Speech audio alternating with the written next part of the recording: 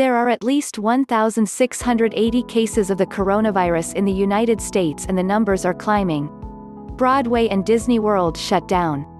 Major sports leagues, like the NBA and MLS, suspended their seasons. Schools are closing. And governors across the country declared states of emergency. The series of events that unfolded this week paralyzed the country and fueled the already growing concerns over the coronavirus outbreak. The pandemic seems to warrant an emergency or disaster declaration from the president that would free up additional federal funds and set the Federal Emergency Management Agency in motion. But that's yet to happen, though President Donald Trump teased the possibility Thursday. I don't want to say that, Trump said. On Friday morning, the president slammed former President Obama over his response to the swine flu. Trump may be able to unilaterally make the decision to declare an emergency or make a disaster declaration, both of which are authorized by the Stafford Act and would unlock additional resources, like supplies and logistic help, but it's generally up to individual states to make that ask to the administration and tailor it to their needs. And for now, it appears states themselves are scrambling to sort out what they need to respond to the increasing number of coronavirus cases before they make that request.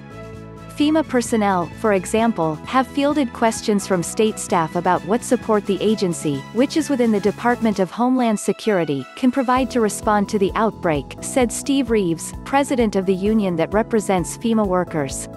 More than anything right now, it's what's available and how soon. Reaves said. Those have been the most pressing ones in the last two days. An official in Washington state, among the states hardest hit by the coronavirus, told CNN that the state is continuing to review all options in terms of federal assistance, for example, how it might be able to obtain more protective gear. To make a request for a declaration, states also have to show they're overwhelmed. New Jersey, for example, hasn't reached that point yet.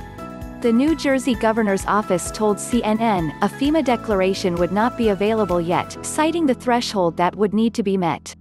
Due to the recent release of more than $15 million in HHS funding that can be used for these COVID-19 costs, the state thresholds for FEMA assistance certainly have not been met yet, according to a statement from the office Thursday.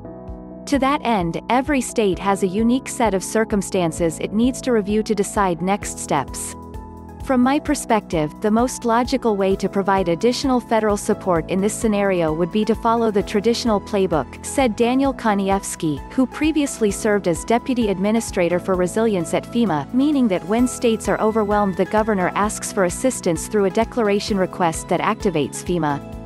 Even though that's the most logical, it may not be applicable, or there may be other reasons to do it differently this time, said Kaniewski, who's now a managing director at Marsh & McLennan Companies. There's always an exception to the rule. Just because we normally do it that way for hurricanes or other disasters doesn't mean it has to be done this way.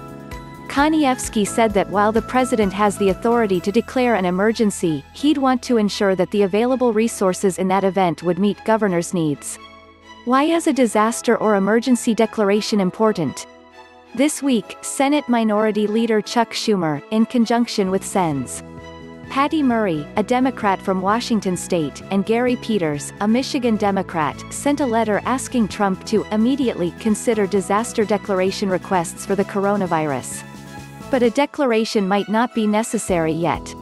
It's possible that if the states have the resources it needs b that the state has most of the resources it needs and the resources it doesn't have it's getting from HHS and the $8.3 billion, Kaniewski said.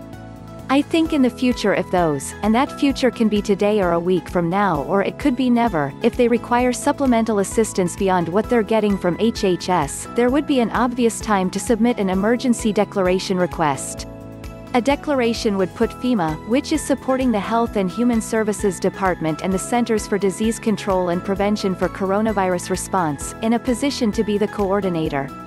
The center of gravity switches from HHS headquarters to FEMA, Kaniewski said. More federal funds would become available, as would supplies, personnel and any other support. For example, FEMA might help with logistics, like the transport of residents if needed, and put up temporary medical facilities. Those resources could come from across federal agencies, from stocked warehouses and through contracts. States will likely communicate what they need and where they need it. Reaves recalled that during the California wildfires, for example, FEMA came in, put up tents, set up command and control centers, and worked with state and local governments to track casualties. Declarations might also be issued down the line, so the federal government can reimburse state and local governments for the costs incurred during an incident. For example, President Bill Clinton issued an emergency declaration in 2000 over the West Nile virus, authorizing millions of dollars in federal funds to reimburse affected local governments.